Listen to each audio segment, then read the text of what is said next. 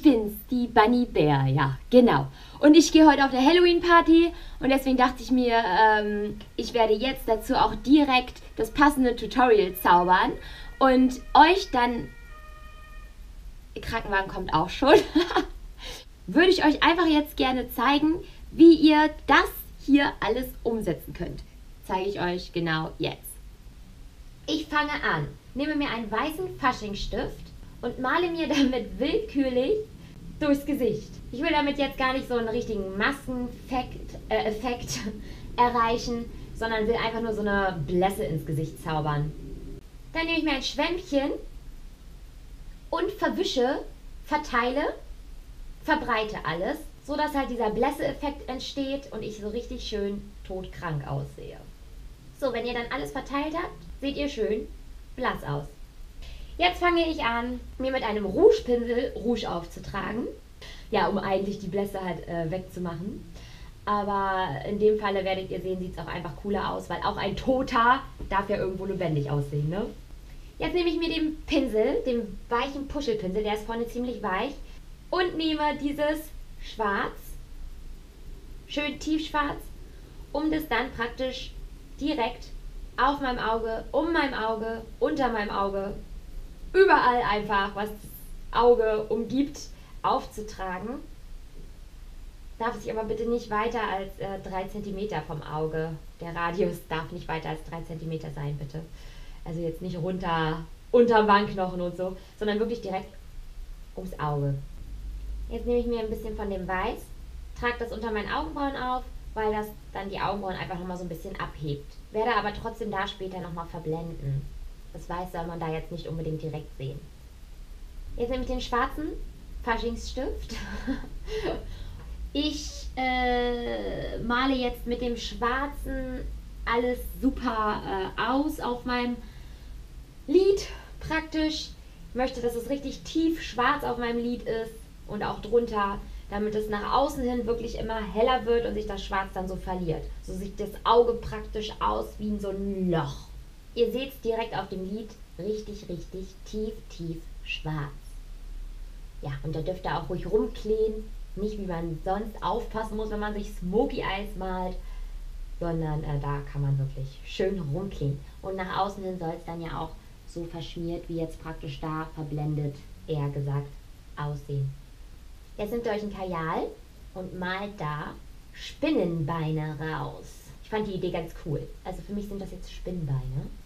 Oh, sieht doch richtig cool aus, oder? Wuhu. Auf der anderen Seite macht ihr natürlich dasselbe, beziehungsweise das gleiche.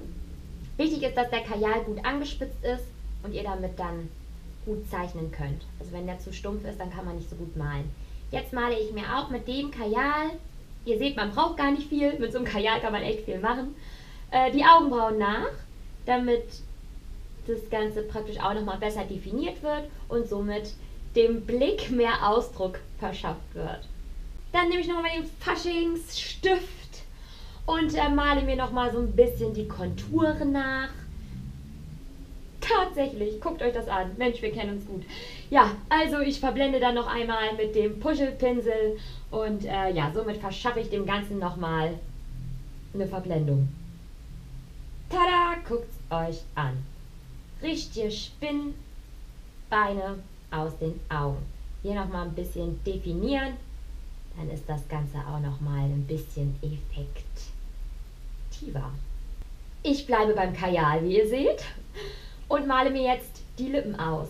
Da braucht man nicht unbedingt einen schwarzen Lippenstift für, da kann man auch, wenn man nichts anderes hat, einfach mal den Kajal nehmen. Jetzt nehme ich halt nochmal doch den schwarzen Faschingsstift dazu und male dann praktisch die Lippen nochmal innen aus, weil das mit dem schneller geht als jetzt mit dem Karial. Und dann habt ihr schöne schwarze Lippen. Also ihr könntet das praktisch ja auch schon so direkt lassen, aber jetzt nochmal als Special-Effekt ist richtig, richtig cool, wenn er da nochmal so einen Strich aus dem Mundwinkel rausmalt und dann einfach nochmal so ein paar Striche da senkrecht durch mit einem leichten Bogen, damit das Ganze auch schön im 3D-Effekt und echt aussieht. Sieht es aus, als hätte euch da der Doktor genäht. Nehme mir diesen Lippenpinsel, gehe in roten Lipgloss oder Lippenstift, je nachdem, was ihr gerade da habt. Und male mir so ein bisschen in ähm, also die Lücken aus, damit da so ein bisschen Rot reinkommt praktisch. Dann sieht das aus, als wenn die Wunde so ein bisschen aufgegangen ist. Und dann male ich mir da jetzt so eine Art Blutstropfen ähm, in Schlängellinien, leicht gezickzackt runter, dass das aussieht, als wenn die Wunde halt, wie gesagt, aufgegangen ist und das Blut jetzt läuft. Aber seht's euch an, da bin ich. Jetzt mache ich nochmal ein bisschen mit so einem schwarzen Lidschatten einmal nochmal in das Rot hinein, damit das Ganze nochmal dunkler und echter aussieht. Aber stopp, ich habe da noch was. Und zwar eine Kette. Eine coole Spinnkette, passend zu meinen Spinnaugen. So. Und schon ist die Kette drum. Und ihr habt echt ein richtig, richtig geiles Outfit. Jetzt haben wir hier Nägel, die richtig schön lang sind und die ich jetzt einfach mal äh, direkt draufklebe, drauf mache. Das ist ganz einfach gemacht. Da braucht man nicht mal ähm, einen Kleber für, die kleben von allein. Aber solltet ihr abends weggehen, würde ich dann trotzdem nochmal einen Kleber drauf machen. Ich hoffe, ihr konntet mir gut folgen und ich konnte euch einige Tipps geben. ihr habt jetzt gesehen, wie es funktioniert. Ähm, ich würde sagen, einfach machen, gar nicht lange überlegen. Wenn es euch gefällt, nachmachen.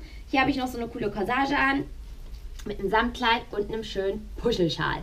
Diesen Puschelschal habe ich mir jetzt nachträglich nochmal umgehangen, weil ich den total wichtig finde und auch äh, cool finde. Ja, hier bin ich nochmal. Ähm, ihr seht, ich habe jetzt nochmal hier eine andere äh, Variation zu präsentieren. Ähm, da trage ich jetzt eine weiße Perücke, einen weißen Bob. Ja, den äh, kann man auch überall eigentlich bestellen und kaufen.